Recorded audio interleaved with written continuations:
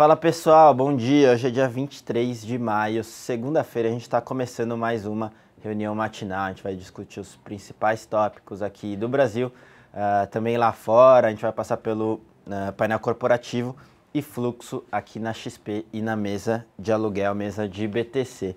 Mas para começar com os destaques domésticos, uh, a gente teve eh, já na sexta-feira o anúncio da meta do setor público para esse ano é, um déficit ali é, total de 170 bi, é, mas o Gustavo ele vai comentar um pouquinho melhor no detalhe. Também a gente teve o Meirelles comentando que por enquanto descarta qualquer tipo de aumento de imposto, mas isso não quer dizer que no futuro a gente tenha é, mais conversas sobre esse assunto e também Uh, algumas questões de concessões, né, que podem levantar, podem levantar até 110 bi uh, de reais uh, a ver esse programa aí com a parceria é, público-privada, tá, pessoal? Uh, lá fora, é, ah, por último, a parte de focos também aqui dentro. Lá fora, indicadores fracos na Europa e no Japão, impactando negativamente as bolsas. Então, vou chamar agora o Gustavo Cruz para comentar tudo isso no detalhe. Bom dia, Gustavo. Dia Kim, bom dia a todos. Pois é, alguns resultados lá fora de indicadores não tão muito bons.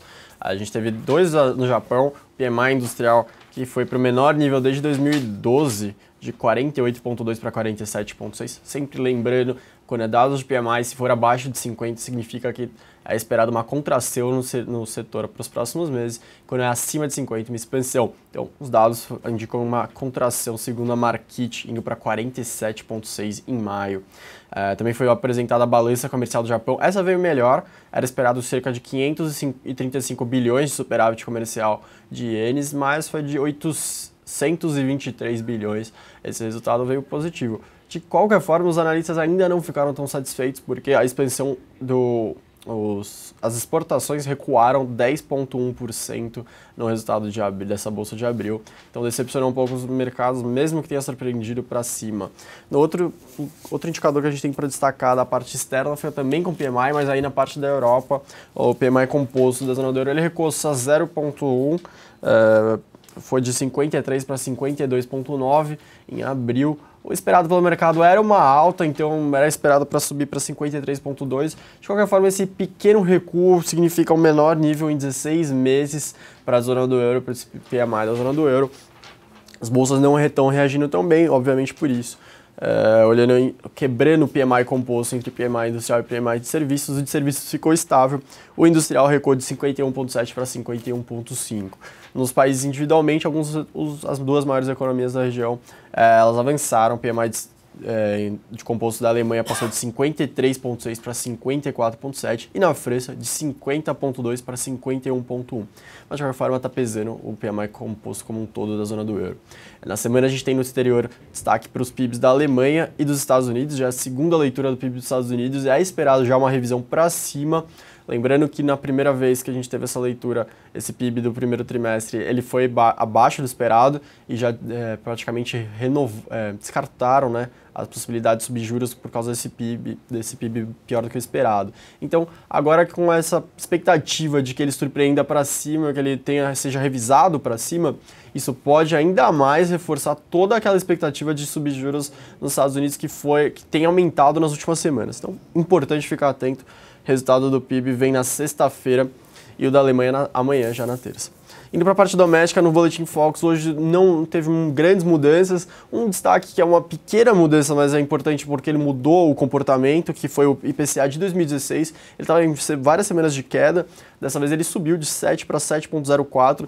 Interessante porque a gente teve revisão de metodologia no mês passado, a gente teve o IPCA 15 surpreendendo para cima na última sexta-feira. Então as casas já meio que mudaram sua expectativa para o ano, estamos vendo que a inflação vai sim ficar mais rígida e vai demorar um pouco mais para convergir para meta, mas é, vai ser mais interessante conforme o Willa assuma a presidência do Banco Central e aí ele começa a discursar para ver quanto isso vai impactar nas expectativas, porque ele já deve dar um pouco mais a pista do como ele deve proceder com a taxa de juros até o final do ano e daqui para frente. Outro destaque foi a queda do câmbio. Aí sim recuou bem tanto para 2016, tanto para 2017. Em 2016 indo de 3.7 para 3.67, 2017 indo de 3.9 para 3.88.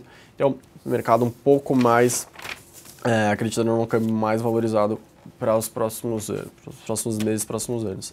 É, nos destaques de notícias, a gente tem a notícia de, da meta que foi definida na sexta, última sexta-feira, vai ter um déficit de 163 bilhões, muito, muito grave, é, sendo que os estados e municípios vão devem apresentar um superávit de 6,5 bilhões e o governo central, esse sim, teria um déficit de 170 bilhões.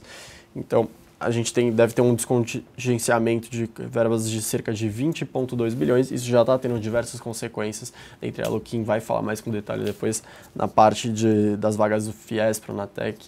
É, mas isso já é um reflexo de toda é, esse por conta do que a gente vai ter do déficit.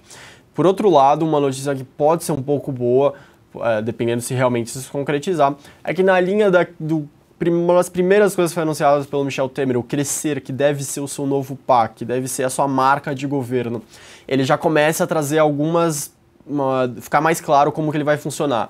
O que surgiu de notícia hoje interessante do Estadão, é, um levantamento preliminar foi feito e cerca de centenas de novas concessões, 40 renovações de contratos, pode render cerca de 110 bilhões de reais para o governo nos próximos dois anos. Então, é, cerca de portos, rodovias, aeroportos, ferrovias, estão surgindo cada vez mais notícias sobre isso. É uma a linha que o governo pretende seguir e para o que vai ter de diferente do governo da Dilma para crescer nas concessões. Então as modificações devem ir na parte da taxa de retorno, que deve ser bem mais flexibilizada. Então sempre que era sempre puxado para baixo pela Dilma agora não vai ser tanto assim e também é, na questão de nas estatais que não vão ter mais ser obrigada, obrigadas a ser presentes, como então a Infraero, a Valec, não vão ter mais que ser obrigadas a participar dos leilões, que nem estava acontecendo no governo da Dilma. Isso deve ser uma mudança bem forte para esse governo do Temer. E por último, antes de passar para o Kim, as duas entrevistas interessantes no final de semana dos membros do governo, do Henrique Meirelles, ministro da Fazenda, e do Romero Jucá, ministro do Planejamento, ambos meio que já deram uma uma, uma cor de como que vai ser as medidas que eles vão anunciar amanhã para tentar para caminhar para o ajuste fiscal, mas os dois descartaram aumento de impostos, pelo menos no primeiro momento, e também o Romero Jucá falou que a reforma da Previdência ainda está em trabalho, que não vai ser anunciada já amanhã. Então já era o esperado, eles já tinham comentado que era cerca de um mês para trabalhar em cima da proposta, dialogar com os vários setores, da, com a população e depois apresentar a proposta. Então está indo bem em linha com o que foi dito anteriormente. Mas de qualquer forma, eles descartaram qualquer chance de aumento de impostos, só ressaltaram que a situação foi bem pior do que eles esperavam e por isso um déficit tão grande. Agora sim, devolver para o Kim. É, ficar atento então às medidas que vão ser anunciadas amanhã e a, o começo do, da votação da nova meta fiscal na Comissão Mista de Orçamento começa hoje. Agora sim, Kim, com você. Obrigado, Gustavo. Obrigado pelas informações. Passar aqui para o painel corporativo, começando como sempre com Petrobras, é, notícias aí no fim de semana de que o Ivan Monteiro, que é o CFO, é, diretor de finanças da Petrobras, deve ficar é, no cargo. Então eles tiveram uma conversa ali, o Pedro Parente e o Ivan Monteiro durante esse final de semana e deve continuar sim no cargo de CFO da Petro. A gente também uh, teve algumas declarações do, Elis, do Eliseu Padilha, que é o ministro-chefe da Casa Civil, comentando sobre o apoio da flexibilização do pré-sal, quer dizer, a não obrigatoriedade da Petro de participar com o mínimo ali nos leilões de pré-sal. E também fala um pouquinho sobre o preço da gasolina, falou que agora não tem espaço para redução de preço da gasolina, tá? Muito se falava aí por conta de todo o, o prêmio que a gasolina aqui no Brasil era vendida, mas uh, por enquanto, então, uh, nada sobre esse, essa redução uh, em gasolina e diesel, pelo menos por enquanto. passar aqui para o próximo tópico, o governo, o, o, Gustavo já tinha comentado sobre esse programa de infra do governo e paralelo a isso a gente vai ter também alguns roadshows lá fora, principalmente do governo, falando sobre é, venda de participação nas estatais, né? E a gente já vem falando disso há algum tempo, mas os roadshows ali mais concretos devem acontecer aí nos próximos meses. A ideia aqui é vender é, parte da distribuição de combustível da Petro, a parte de Furnas é, no setor elétrico e também algumas instalações operadas pela Infraero, tá? Então, de novo, o governo é, nessa parte de é, venda de participações nas estatais. Ainda assim, uh, ainda na verdade no assunto governo, suspensão ali de novas vagas para o Pronatec e FIES é um, é um assunto bem importante para as educacionais. A gente já viu algum efeito disso na sexta-feira, uh, lembrando que a gente teve no final da semana passada uh, o governo suspendendo, pelo menos por enquanto, uh, a terceira fase do Minha Casa Minha Vida e todo mundo já fez esse paralelo com o FIES e Pronatec, as ações já sofreram na sexta, mas a gente teve nesse fim de semana que o governo deve suspender as novas vagas para o FIES. Eles devem ainda uh, cumprir o acordo das vagas que foram oferecidas até então. Partindo para a parte uh, de aviação, Embraer uh, vendeu 23 aviões ali para a americana a Cross, a gente está falando cerca uh, de, 100, de 260 milhões de dólares. e também, ainda nesse setor, a Gol falando que não está à venda, né? Muito se discute aí sobre o aumento de participação das estrangeiras é, na Gol, enfim, em todas as aéreas aqui no Brasil. De acordo com a Gol, é, ela defende esse aumento de participação das estrangeiras não para vender a empresa, mas sim para passar para o novo mercado é, e também fortalecer o seu capital, mas teoricamente não estaria à venda, tá pessoal? Então esses foram os principais destaques na parte corporativa, passar rapidamente para a parte de fluxo aqui na XP, na sexta-feira a gente teve os locais terminaram net vendidos em cerca de 10 milhões de reais. Destaque na compra para Itaúsa, Cielo e GGBR. Destaque na venda para CETIP e Petro. Os estrangeiros eles terminaram net vendidos em cerca de 10 milhões de reais. Destaque na compra para Vale e ENBR. Destaque na venda para Petro, BR Foods, Itaúsa e CPFS. Foram os principais destaques na mesa de fluxo. E para terminar, mesa de BTC, uh, nossos comentários da mesa de aluguel, destaque ainda para Elet 3, a gente teve muita notícia, né? Uh, principalmente na semana passada, com a suspensão das ADRs, etc. Então, muita demanda para Elet 3, Estácio e Vale fecham a lista de destaques lá na parte de aluguel, tá, pessoal? Então, esses foram os principais destaques da reunião matinal. Vou chamar agora o Salomão para falar um pouquinho dos destaques lá na Infomani. Bom dia, Salomão. Bom dia, Kim. Bom começo de semana para você. Realmente a semana já começa bem agitada, principalmente pela notícia da Folha sobre a, a gravação da conversa do ministro Jucá e revelando algumas coisas que podem trazer o que o mercado já começa a falar de um risco da Lava Jato chegar no Temer, é mais ou menos isso que o mercado já começa a interpretar é, inicialmente, até o motivo pelo qual, nesse momento, o Ibovespa Futuro cai 2,23%, enquanto lá fora a gente vê o dia futuro dos Estados Unidos leve queda, na Europa caindo também, só que bem mais ameno, mercado um pouquinho preocupado com isso. Uma semana que já reserva é, a votação da meta, o anúncio de medidas e o PIB dos Estados Unidos, que deve, é, de fato, ser o, o divisor de águas sobre o que o Federal Reserve vai fazer com a taxa de juros norte-americana. Então, já começamos quente nessa semana, apesar do frio que está lá fora, aqui no mercado pelo menos está muito quente, as coisas, é, os preços se agitando muito rapidamente numa semana crucial, tanto para a meta do Brasil como para a política monetária dos Estados Unidos. Pois é, Salomão, a gente já vem comentando que a questão da Lava Jato é um imponderável, né? A gente vê ali esse governo de transição com diversas medidas, mas tem ali em paralelo a questão de Lava Jato, não só na questão do Jucá, mas também é, no Renan. É, isso aí pode trazer um pouco mais é, de incerteza ali no Senado, que é um, tem um papel importante aí para a passagem das, das medidas ao longo do tempo. Aí, como se isso não bastasse, você bem citou a questão do Fed, né? Cada vez mais ali o mercado atribuindo maior probabilidade de aumento de juros antes. Uh, o pessoal esperava mais para o final do ano, entre uma e duas altas, mas agora com esses novos discursos aí e esses novos dados uh, relativamente fortes, uh, o pessoal já reprecificando a curva por lá. Bom, é isso então. Durante a semana a gente vai monitorar a questão política e também essa questão externa do Fed que tem mexido tanto com a nossa bolsa. Bom, eu vou ficando por aqui. Bom dia a todos, bom dia Salomão e até a próxima. Valeu, Kim. Bom, bom começo de semana para você. Agora a repercussão do noticiário da Folha e também das notícias do mercado internacional você vê agora no Infomani na Bolsa. Roda a vinheta.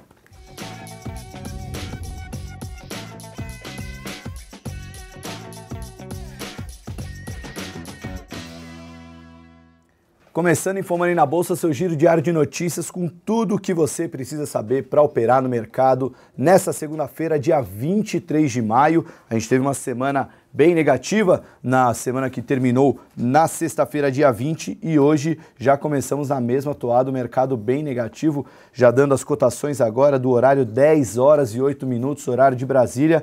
Ibovespa futuro caindo 2,15% para 49.070 pontos. O Ibovespa à vista caiu um pouco menos, 1,46, mas estamos perdendo os 49 mil pontos. É, um patamar já começa a ficar bem incômodo para quem esperava aquela euforia do mercado com o impeachment. De fato, está vendo uma reação extremamente contrária, né? É, eu tive de férias nos, quase nos últimos 30 dias e foi difícil acompanhar todo o noticiário, mas uma notícia que a gente fez na semana passada que explica muito bem é, o direto ao ponto que a gente fez de por que, que a bolsa caiu e o dólar disparou é, com o impeachment que o mercado tanto esperava. Né? Tivemos explicações de gestores, analistas, grafistas, uma série de especialistas mostrando por que de fato o mercado está tendo essa reação negativa.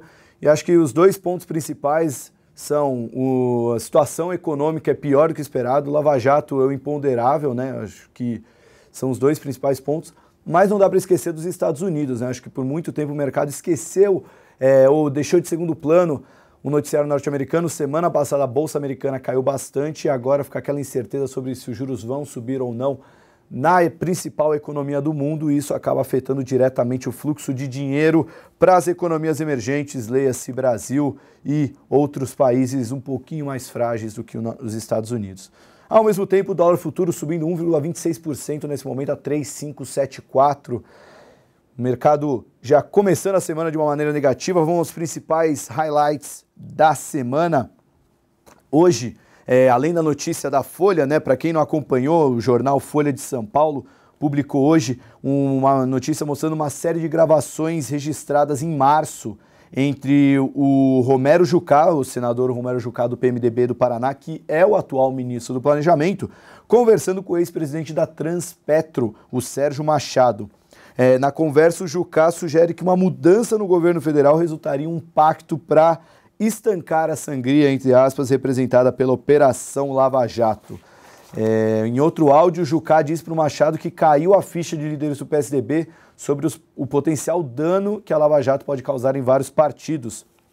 É, a conversa é bem longa, são mais de 10 minutos de conversa, mas em vários pontos ele mostra claramente que acreditava que a, a chegada do Temer é, como presidente interino poderia é, provocar uma articulação que beneficiasse possíveis envolvidos na Lava Jato. Tem o Jucá, tem, como o Kim já falou no programa agora mais cedo, é, do Renan Calheiros, presidente da, do Senado.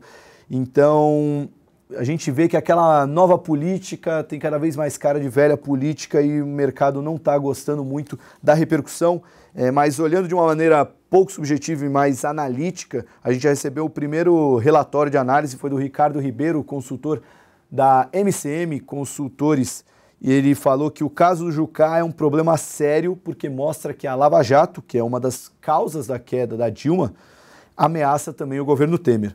E além disso, a gravação e divulgação da conversa indica uma briga de bastidor entre alas do PMDB. Obviamente, para isso ter é, chegado ao jornal, para ter ido a público, é porque alguém queria que isso vazasse e a gente vê que não há aquela aquela homogeneidade que todo mundo esperava é, numa, numa, num novo governo, né?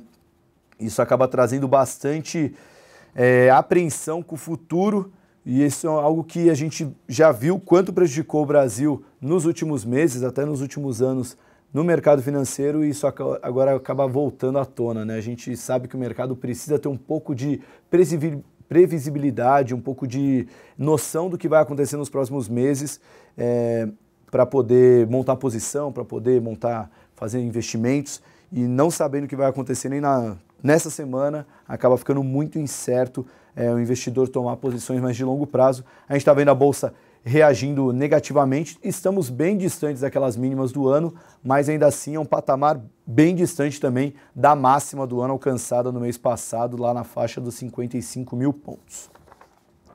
Bom, continuando no noticiário, vamos falar de exterior, né? A gente já tinha visto que a bolsa lá fora estava caindo, não tanto quanto aqui, mas a gente teve notícia é, da queda do petróleo. Os produtores do Canadá estão tentando retomar operações após incêndios que tiveram por lá. E cobre e outros metais também recuam com queda nas importações da China. É, na Europa, a principal queda está na bolsa italiana, caindo na faixa de 2%, mas outras bolsas caem entre na faixa de 1%, um pouquinho a mais, um pouquinho a menos, mostrando uma queda bem mais forte que a gente está vendo na bolsa brasileira. Na Ásia, o mercado começou relativamente positivo, mas com pouco volume. Lembrando que a Ásia acaba tendo um delay né, entre o que acontece no Ocidente para o Oriente. Ainda na Europa, né, é importante destacar, o PMI composto da zona do euro teve o menor nível em 16 meses, batendo 52,9 em maio. Também outro indicador não muito favorável. E, por outro lado, o otimismo do investidor é, na Alemanha mostrou uma recuperação após perder o ritmo em abril. Bom, da semana, o que vale a pena ficar de olho no que vai acontecer na semana, né? É, hoje está tendo um evento em São Paulo, um evento promovido pela Veja, que vai contar com a presença do Sérgio Moro, do Henrique Meirelles, do Leme, presidente do Goldman Sachs. Então vai ter muita coisa nova que deve sair, visão de mercado de importantes expoentes. Além do Moro, que acaba sendo um show à parte, porque ganhou uma notoriedade muito grande nos últimos meses. Então o mercado vai acabar ficando de olho é, nesse evento. Também é esperado é, até amanhã a expectativa de anúncios de medidas de estímulo. O Meirelles já falou que não quer anunciar novos impostos. O Temer quer fazer um pacote que traga um pouquinho de estímulos também para crescimento. E até quarta-feira, até quarta-feira é o prazo máximo, pode ser hoje, pode ser amanhã, é esperado que o governo, é, a votação da meta aconteça até a quarta-feira, a meta anunciada na sexta-feira. Para quem saiu mais cedo na sexta-feira, não viu o ministro da Fazenda Henrique Meirelles e o ministro do Planejamento Romero Jucá anunciando a nova meta fiscal que prevê um rombo de 170,5 bilhões de reais. É quase que o pouquinho mais de 50% da meta anterior de 96 bi negativo. Segundo o novo ministro da Fazenda, a reversão do contingenciamento será de 21,2 bilhões e não se pretende revisar novamente essa meta até o final do ano. Além dessa nova meta, né, que vai ser votada essa semana, também o governo apresentou no relatório de receitas e despesas as novas projeções para esse ano. O PIB atual agora prevê uma queda de 3,8% nesse ano, a projeção anterior era de queda de 3,05%, e a inflação medida pelo IPCA cuja estimativa estava em 7,44, agora está em 7,0, uma melhora na projeção da inflação, mas ainda acima do teto da meta, que é de 6,5%. Ainda na semana quinta-feira, feriado na Bovespa, então vale a pena ficar de olho nos ADRs brasileiros negociados na NYSE. E na sexta-feira, além da volta do feriado repercutindo o que aconteceu na quinta, a gente vai ter o principal indicador econômico da agenda, o PIB dos Estados Unidos, vai ser divulgado às nove e meia da manhã, horário de Brasília, ou seja, vai botar fogo no mercado futuro e também na abertura do mercado brasileiro. Por que é tão importante? Porque o Federal Reserve vem mostrando um pouco de é, mudança de comunicação sobre o que vai fazer com a taxa de juros no país e o resultado do PIB norte-americano referente ao primeiro trimestre do ano pode ser um, um balizador, o um definidor do que o Fed vai votar na próxima reunião do FONC. Bom, esses são os principais destaques. Ah, só fechando, toda segunda-feira a gente tem o Boletim Focus do Banco Central. Os principais pontos, a inflação foi reduzida de 7,04% para 7% a projeção, em linha com a projeção do governo algo até inédito, né? A gente nem sempre via a projeção do mercado estar tá alinhada com a projeção do governo. A gente já está vendo isso agora. A projeção de Selic também foi revista.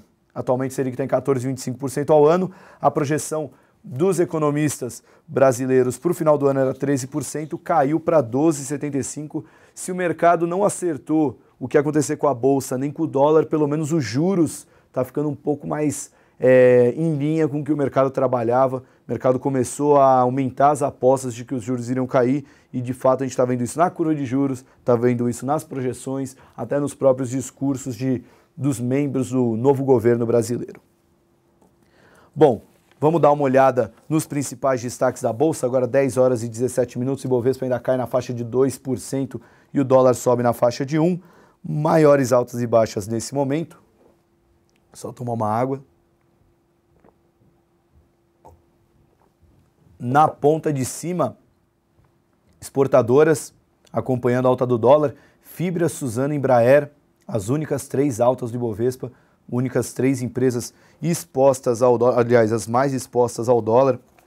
Embraer a gente teve notícia, teve aquela famosa feira de a feira de a convenção né, de aviação que tem anualmente em Genebra, e a Embraer informou que vendeu 23 aeronaves com valor de tabela de 260 milhões de dólares a Serviços Aéreos Across, empresa mexicana, e ela tem a opção de dobrar o pedido.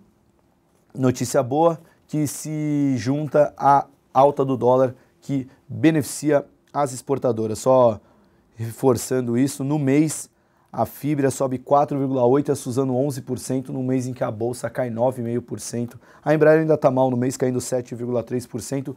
Ela é uma das empresas que tendem a ser prejudicadas pelas medidas que podem vir a ser anunciadas pelo governo Temer. A gente até fez uma matéria sobre isso é, ao longo do mês. Das três medidas que podem vir para podem impactar negativamente o mercado, a Embraer está exposta a duas delas. Agora, do restante é tudo queda e a principal queda fica com a Croton. Teve notícia do setor educacional, como o Kim já ressaltou, a dificuldade do brasileiro em acessar o ensino superior depois dos cortes é, em programas de, sociais do governo, isso que vem acontecendo desde o ano passado, a dificuldade em acessar o FIES e outros programas tem dificultado, muitos, muitos brasileiros estão deixando de ingressar na faculdade, isso está afetando seriamente as empresas do setor. Além da Croton, aparece aquele time de commodities, os Minas, Petrobras, Petrobras 3, a Bradespar, todas elas caindo entre 4,5% e 2,5%. Também aparece em queda MRV, aparece em queda Braskem, Semig, Metalúrgica Gerdau. Mercado predominantemente negativo nesse começo de semana, pouca coisa se salva no Ibovespa. Só fazer um, um levantamento aqui rapidinho. Nesse mês que a gente já está na última semana do mês, a gente tem até o momento apenas quatro ações subindo mais de 10%, apenas seis ações subindo mais de 5%, enquanto a bolsa está caindo 10%. A gente vê Equatorial, é, Cosan, Smile, Suzano, Qualicorp e JBS subindo bem. O resto entre alta, fraca, abaixo de 5% e quedas de até 45%, como é o caso da CSN, prejudicadíssima Companhia Siderúrgica Nacional caindo muito forte. E aliás, vai ser tema do comprar ou vender hoje. A gente vai falar um pouquinho do que acontece com essas empresas que estão caindo tão forte nesse mês, se é uma correção natural do mercado, vale a pena seguir apostando nelas, ou se o jogo virou para elas e perder o rally do ano. A CSN é um caso que nesse momento está zerando os ganhos acumulados é, nos últimos 365 dias, é, no acumulado em 12 meses ela está com queda de 0,4, mas no ano ainda mostra alta de 80%. Vale é outra que está caindo 30% no mês, mas ainda sobe no ano. A Gerdau está caindo 26% no mês, mas sobe 23% no ano. Então a gente vai fazer uma análise sobre essas ações e também analisar por que, que algumas ações estão subindo tão bem e se vale a pena se posicionar nelas. Caso de JBS, Qualicorp, as exportadoras, tem a Cosan, tem a Smiles, enfim, alguns papéis estão performando muito bem. E até parabenizo a Raia Drogazil, empresa que eu sempre falo aqui nos programas, gosto muito dela e continua subindo muito, apesar de boa parte do mercado já ter dito que ano passado já tinha subido tudo que tinha que subir e agora ela sobe 49% em 2016 e é a segunda maior alta do Ibovespa, atrás apenas da Braskem, mostrando que sim, a qualidade na Bolsa Brasileira. São poucos papéis, é verdade, mas ainda assim há bons papéis para o investidor. Bom, fique ligado na programação do Infomoney TV. Hoje é duas e meia da tarde, tem o Comprar ou Vender. Eu não decidi ainda quem vão ser os analistas. Provavelmente o Pedro Galdi vem aqui para falar de siderúrgicas. Queria trazer mais um analista para o programa. Logo depois vai ter o programa do Wagner Caetano na mira do trader. Isso tudo para começar a semana muito bem. Também fiquem de olho no site que a gente deve trazer as novidades sobre o evento da Veja que o Infomoney está cobrindo lá, que vai contar com Meirelles, Moro, Leme e outras personalidades do mercado. No mais, tenham todos um bom pregão, um bom começo de semana e até amanhã com mais um Infomoney na Bolsa. Até lá!